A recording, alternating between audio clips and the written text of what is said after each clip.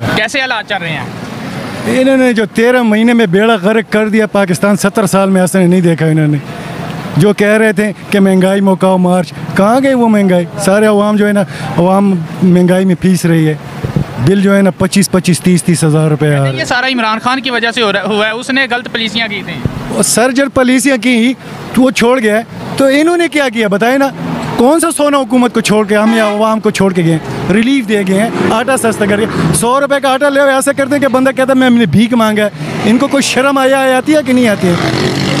ये वो शबाज शरीफ ने कहा था मैं अपने कपड़े बेच कर ना मैं गरीब आवाम को आटा और उसने फ्री कपड़े भी नहीं बेचे फ्री में आटा दे दिया। सर मैं यकीन से कहता हूँ वो कपड़े उतारे ना कुत्ते को भी पहने ना तो कुत्ते भी वो कपड़े नहीं पहनेंगे। मैं गारंटी देता हूँ गारंटी देता हूँ गारंटी देता हूँ कुत्ते भी नहीं पहनेंगे वो।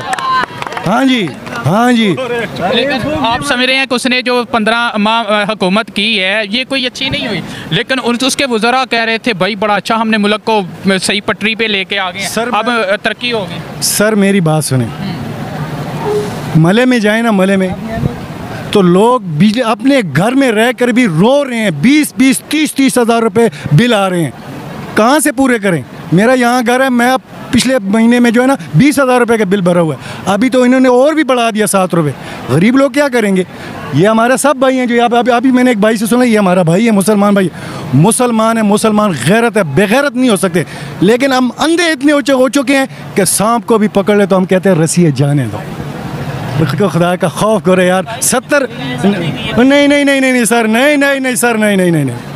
ये नहीं दो साल मेरी दो साल कोरोना था।